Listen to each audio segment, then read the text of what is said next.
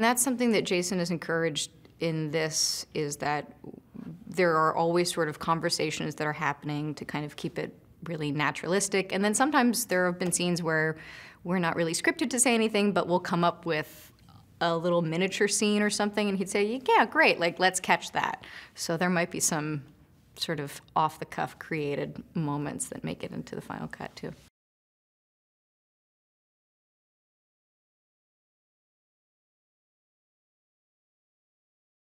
Jason is very collaborative.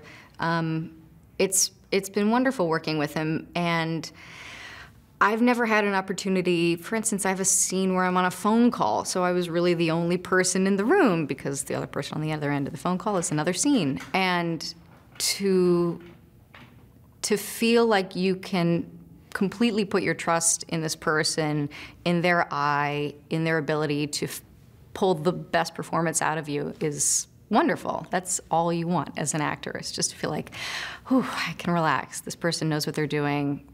You know, they're they're my captain. It was good.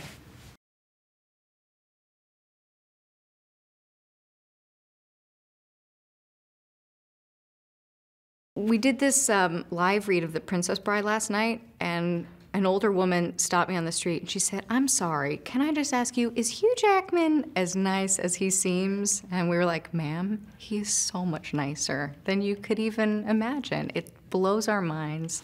Um, it's not hard to, to play you know, his staffer and have this kind of hero worship and want to put everything in your heart and soul behind this guy because that's just the sort of person that he is. I mean, I think like the entire campaign staff on day one was like, I would take a bullet for that man. He's just, he's like incredible.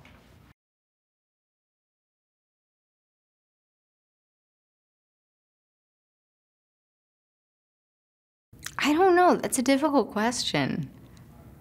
Because I mean, obviously there's there's a certain element of reflecting upon where we are now. As I said, the political scandal of Gary Hart in 88 just pales in comparison with what we've seen in the past 30 years.